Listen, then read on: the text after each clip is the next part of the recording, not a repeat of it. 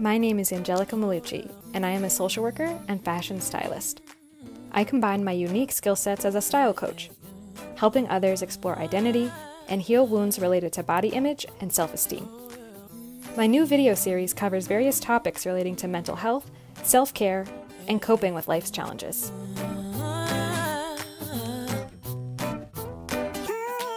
Thinking about gratitude and positivity.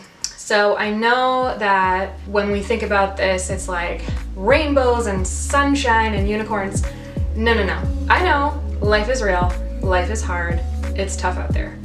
The purpose of this isn't to put on this facade like everything's gonna be okay if you're grateful. I know that this isn't like waving a magic wand. But if we are putting our attention and energy into the things that we appreciate, it shifts our mindset and it does bring us to a different place mentally.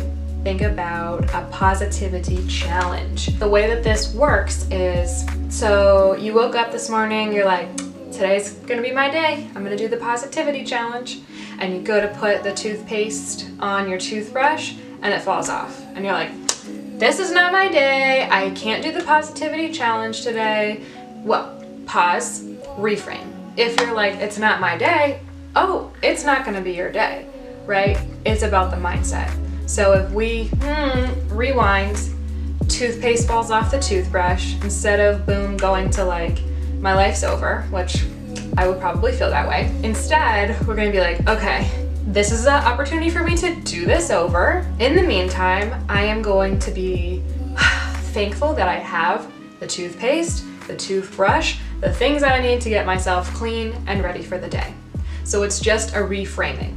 I don't expect you to never have negative thoughts that day because when you exist in the world, you are going to run into conflict, frustration, annoyance. This is just about, in the moment, reframing and feeling like you have more control over your own thoughts. So it's a challenge, build up to it, and something to practice.